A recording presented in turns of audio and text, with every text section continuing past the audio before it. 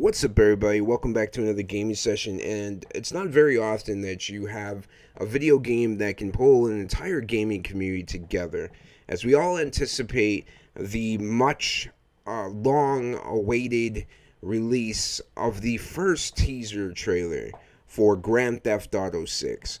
I feel like at this point, because there is no real confirmed release date for when this teaser trailer is going to come out, everything is just a freaking waiting game. And listen, we waited when GTA 5 came out. It was a there was a long gap uh, between GTA 4 and GTA 5. It wasn't like when the PlayStation 2 you had Grand Theft Auto 3, then you had Grand Theft Auto Vice City, and then you had Grand Theft Auto San Andreas. Pretty quickly, uh, all close together. And these games have become so massive in their scope, and uh, so much has gone into even GTA Online itself that the game is so such a, a, huge game and such a huge monumental project that it takes such a long time for it to finally be released. But hey, when GTA 6 comes out, we're all gonna be playing it. We're all gonna sit there and uh, be talking about it. And honestly, I want to see the teaser trailer, but I also feel like we've waited this long that I don't want to see it. But it's part of what I do, right? It's part of what I do here on gaming sessions is I talk about upcoming projects, upcoming games. But there is uh, one story that I had basically uh, read and found, and it was uh, courtesy of Reddit. And basically, a fan claims they've quit smoking so they can live long enough to play GTA 6. And this is the this is the thread, the discussion here. Uh, it says GTA 6 anticipation has got me to quit smoking. Title, really. I've been a fairly heavy smoker for a while now. Lately, I've been coughing a lot more and just feeling like shit from the cigarettes, but addiction is a hell of a thing. And that it is, my friend. That it is. I, I know it from experience. I am so hyped for GTA 6. The thought of being in, ho- in a hospital or on heavy medication as a result of cigarettes has got me to quit cold turkey. Uh, might not be. Uh, you kind of, if you've been addicted for a long time to anything, you do not want to just quit cold turkey you are going to have serious withdrawals. It's going to be extremely painful and it's just not intelligent. Quitting anything cold turkey is just a recipe for disaster and causing bad things to happen to you. They're going to cause you to relapse and, and basically eventually or right away. So I do not recommend quitting anything cold turkey. Hell, if you've been drinking energy drinks, uh, Rockstar, Red Bull, G Fuel, whatever it might be, if you've been drinking energy drinks for a long period of time, let's say you're taking 300 milligrams of caffeine a day or 200 milligrams of caffeine a day in like a Ghost can, which Ghost to me, their uh, sour green apple is probably the best uh, energy drink I've ever had in my life. But anyway, if you quit that, and you're like for me, I've been drinking caffeine drinks for probably seven, eight years. If I, all of a sudden I quit cold turkey and I've tried, I I start to get withdrawals. I start to get migraines, really bad migraines. I start to kind of shake, jitter a little bit it sucks. It's not a good thing. Never quit anything cold turkey. So this person, hopefully they're okay and hopefully uh, they succeed, but it's not a good idea in general.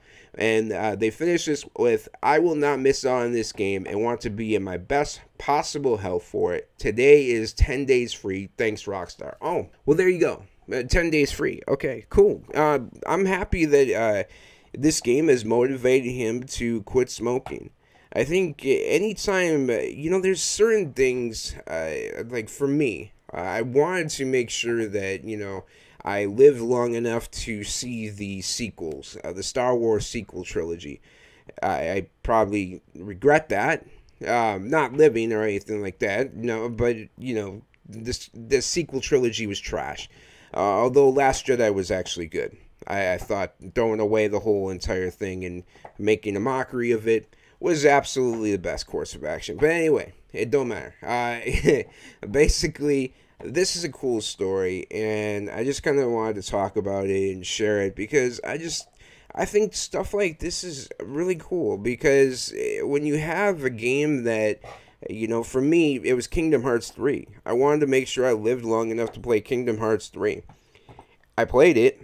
It was okay. It wasn't as great as I wanted to be, but at least it motivated me enough to uh, quit uh, doing what I was doing and I was addicted to to want to live long enough to play that game. And if it takes GTA 6 for this person to want to better their health and better their life, more power to them. Uh, more power to anybody who finds uh, entertainment that important or a game that important or a movie that important that that's what you need to uh, kick off uh, your uh, health uh, new healthy lifestyle or whatever it might be.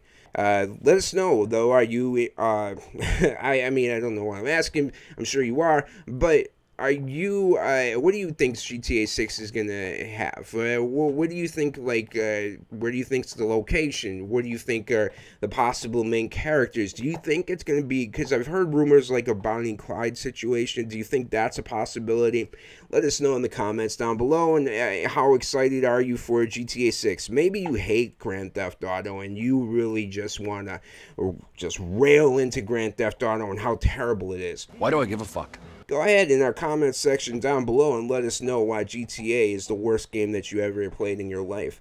Uh, and uh, if you enjoyed this video, don't forget to leave a like. Don't forget to hit subscribe and then hit that bell for notifications so you don't miss out on videos like this from us in the future. And then in the description, you also check out me and my brother Rocky's over the socials. And thank you so much for chilling with me uh, during another gaming session. And we'll see you all in the next one.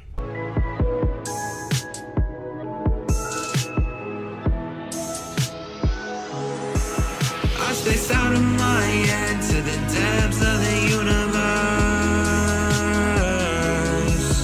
It's a spell or a chance just to open up a newer curse.